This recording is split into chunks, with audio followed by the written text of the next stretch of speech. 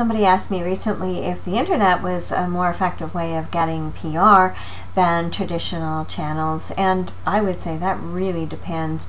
And I don't actually even think of them as either or. I use a little bit of everything. But you need to know your audience, so I would not bother. Um, uh, doing a big campaign to newspapers if your target demographic is 17 years old.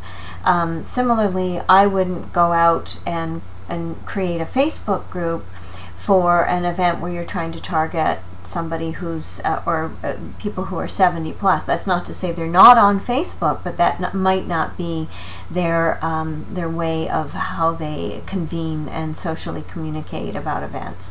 Uh, so know your audience. And then I think um, I think uh, anything that you can do online, that's within your control. Uh, videos that you post that you get out can be the most effective thing. It's bottom up versus top down. Bottom up means you create something, you go out to people, and it filters up to the media, and they get excited by it and do something. Or the other way is, of course, you pitch media and then media filter it down and out. That's the way it all it only used to be because we didn't have social media where you can go bottom up. Now we've got both. Um, I will always do some combination.